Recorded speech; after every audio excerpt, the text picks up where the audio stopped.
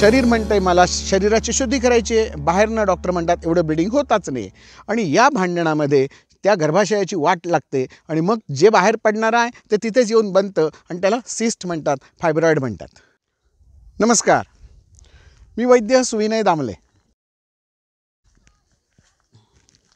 आज आपण गर्भाशय निर्हरण शस्त्रक्रिया हिस्ट्रेक्टॉमी याविषयी थोडीशी माहिती घेणार आहोत. सध्या काय झालं आहे मधल्या एका टॉक शोमध्ये आमिर खानने हा विषय उचलून धरलेला होता. गर्भाशयच काढून टाकायचं. मग गर्भाशयात गाठी आहेत गर्भाशयात आणखीन सिस्ट तयार होत आहेत फायब्रॉईड आहेत कदाचित त्याचं कॅन्सरमध्ये रूपांतर होईल अशी भीती निर्माण केली अवाजवी भीती निर्माण केली की गर्भाशय काढूनच टाकावं असं वाटतं. आणि आता त्याचा उपयोगच काही नाही आहे. आता तुमची पायी जाण्याचंच वय आहे. आता कशाला ठेवताय? उगाच कशाला रिस्क घेताय? कॅन्सर होण्याची शक्यता आहे. ब्लिडिंग थांबलंच नाही तर मग तुम्हाला कदाचित कॅल्शियम डेफिशियन्सी हिमोग्लोबिन कमी होणं रक्त चढवावं लागणं असे काही काही आजार होऊ शकतात. आणि मग ते होण्यापेक्षा गर्भाशय काढलेलं बरं. असा सल्ला जर डॉक्टरांकडनंच मिळायला लागला तर बिचारी सामान्य जनता काय करणार? त्यांना वाटणार डॉक्टर सांगतात ते सगळं सत्य आहे आणि त्यानुसार ती आपला विचार बदलणार आहेत. परंतु दुर्दैवाने हे खोटं आहे. गर्भाशय किती टक्के लोकांचं काढावं लागतं तर फक्त तीन ते चार टक्के महिलांचं गर्भाशय काढावं लागतं ज्यांना खरोखर जेन्युइनली प्रॉब्लेम आहे. बाकी सत्त्याण्णव टक्के लोकांना महिलांना गर्भाशय काढण्याची आवश्यकता नसते हा निसर्ग आहे. निसर्गाप्रमाणे जे काही शरीर चाललेलं असतं निसर्ग नियमाप्रमाणे त्यांची पंचेचाळीस ते पन्नास हा जो काही वयोगट आहे मेनोपॉझलेज जो आहे ह्या वयानंतर त्यांची पाळी जाणार असते. शरीरातील हॉर्मोन्स बॅलन्स ठेवण्यासाठी शरीर आपला काहीतरी प्रयत्न करत असते. त्यामुळे जो काही कचरा असतो तो एकदाच बाहेर काढून टाकायचा. त्यामुळे कदाचित पाळी महिना महिना सुरू राहते कदाचित दोन महिन्यांनी एकदा येते कदाचित पंधरा दिवसांनी सुरू होते कदाचित पहिले चार दिवस होत नाही नंतरचं ब्लिडिंग सुरू राहतं असे काही काही विचित्र प्रकार घडायला सुरुवात होते.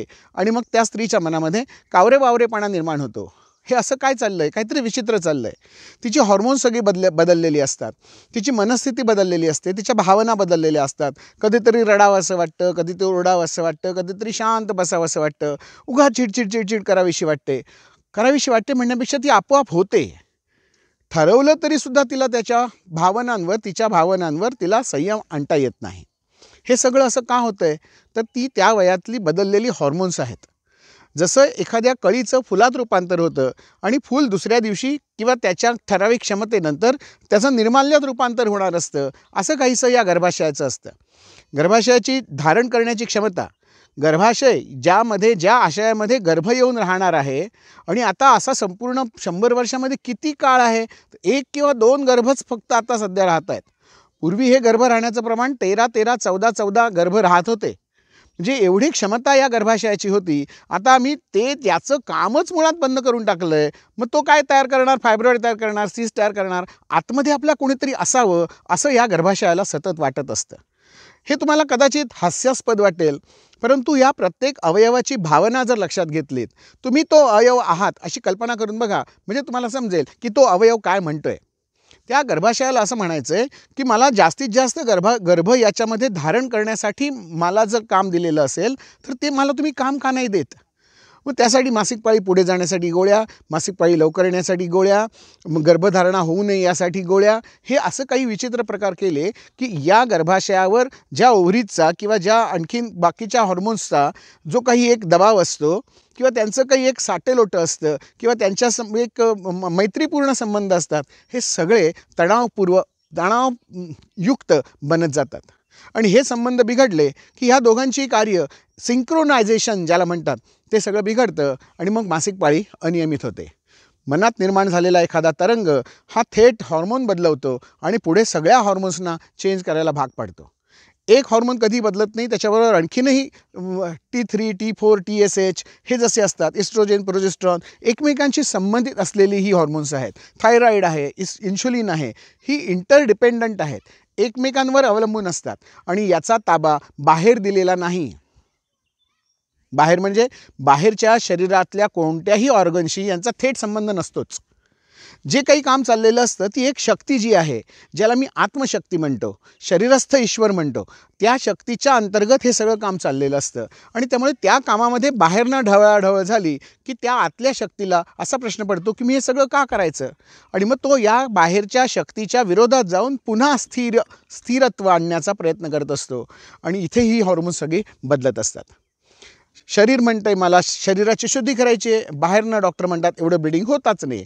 आणि या भांडणामध्ये त्या गर्भाशयाची वाट लागते आणि मग जे बाहेर पडणार आहे ते तिथेच येऊन बनतं आणि त्याला सिस्ट म्हणतात फायब्रॉईड म्हणतात.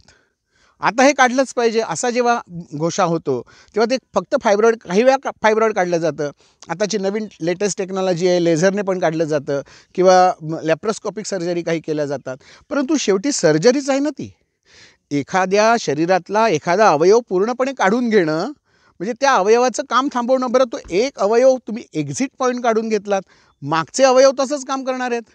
जी हॉर्मोन सिक्रेट होणारी मेंदूपासूनची जी काही यंत्रणा आहे ही तर तशीच आहे. ती तर आपण बदलवत नाही आहोत म्हणजे ही सगळी आतली रचना तशीच आहे. फक्त दरवाजा काढून टाकायचा आणि म्हणायचं आता पुढचे रोग पुढचे रोग वाढणार आहेत. नदीचं वाहतं पाणी असेल तर त्याला काही प्रॉब्लेम येत नाही. नदीचं पाणी वाहायचं थांबलं ज्या धरणाच्या भिंतीला जाऊन अडकतं तिथे ते अडकतं ते मागे फिरतं आणि नको तिथे जातं हा मोठा दोष आहे. असाच दोष शरीरामध्ये गर्भाशयामध्ये निर्माण होतो. जे बाहेरपर्यंत तिथपर्यंत आलेलं आहे भिंतीपर्यंत आलेलं आहे परंतु त्याला एक्झिट पॉईंट मिळाला नाही त्यामुळे तिथे ते अडकलं आणि पुन्हा मागे जातं आणि नको तिथे शिरतं. मग आम्ही ह्याला म्हणतो वात वाढला. आम्ही याला म्हणतो शरीरातलं फॅट वाढलं स्त्रोतोरोध झाला विमार्ग गमन झालं आणि तिथे दोषसंचेती झाली. मग तिथे सिस्ट म्हणा फायब्रॉईड म्हणा गाठ म्हणा ग्रंथी म्हणा अर्बुद म्हणा वाताचा गोळा म्हणा किंवा कफाचा गोळा म्हणा काहीही असू शकतं त्याचं रूपांतर हे अन्य रोगामध्ये होणारच आहे. उपाय काय? काढून टाकणं हा उपाय नाही आहे आंध्र प्रदेशमध्ये म्हणे एका गावातल्या पस्तीस वर्षाच्या सगळ्या बायांची गर्भाशय काढून टाकली. किती गंभीर गोष्ट आहे ही. निसर्गाच्या विरोधात जाऊन आपण जेव्हा असं काही काम करतो आहे तेव्हा याला क्षमा नाही. ॲलोपॅथीमधल्या या एक नवीन ट्रेंड जो आत्ता आलेला आहे वा- वापर होत नाही आहे काढून टाका. असंच सध्या चाललेलं आहे. मला तर काही वेळा भीती अशी वाटते की काही वेळा सगळे अवयव आमचे आतले काढूनच टाकणार आणि वर गेल्यानंतर तो विचारेल अरे हे सगळे अवयव देऊन तुम्हाला मी पाठवलेलं बाकीचे अवयव राहिले कुठे? संपूर्ण शरीर दिलेलं मला संपूर्णच्या संपूर्णच पाहिजे. आणि जर ते ते नसेल पुन्हा जन्म घ्या आणि सगळे अवयव मिळवा आणि मग माझ्याकडे या. असं जर ईश्वराने ठरवलं तर? ईश्वर कृपाळू आहे तो दयाळू आहे त्याला कळतंय सगळं परंतु आम्ही वळत नाही. ईश्वराच्या संकेतानुसार जर आपण शरीर चालवलं कोण बोलवितो हरिवीण अशी वृत्ती जर आपण आपल्यात ठेवली तर मला वाटतं हे सगळे प्रॉब्लेम्स मिटणारे आहेत. सगळ्यात महत्त्वाचं आपल्यासाठी काय आहे? घाबरून जाऊ नका.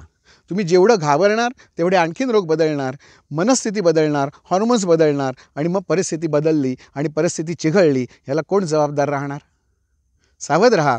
जर असा ऑपरेशनचा सल्ला दिला दोन नाही तीन डॉक्टरांकडेचे सल्ले घ्या. तीन वेगवेगळ्या पॅथीच्या डॉक्टरांचे सल्ले घ्या. प्रत्येक वेळेला दामले डॉक्टर तुम्हाला नाही सल्ला देऊ शकणार आहेत पुरू शकणार नाही आहेत. परंतु आमचं काही पॅनेल आहेत आमच्या पॅनेलमध्ये समविचारी वैद्य आहेत प्रत्येक गावामध्ये आहेत. आणि आता हे सगळे वैद्य देखील बदलायला लागलेले आहेत. त्यामुळे या वैद्यांचा सल्ला घ्या. आणि खरोखरच एखादी शस्त्रक्रिया करावी लागणार आहे का ह्याची खात्री त्यांच्याकडनं करून घेऊनच शस्त्रकर्म करा. अन्यथा थोडं थांबा वेट अँड वॉच धन्यवाद.